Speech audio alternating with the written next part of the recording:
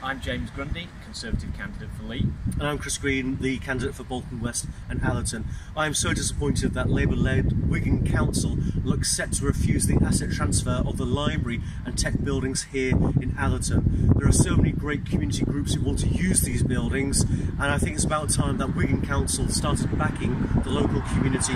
We can't let these buildings go the same way as Formby Hall.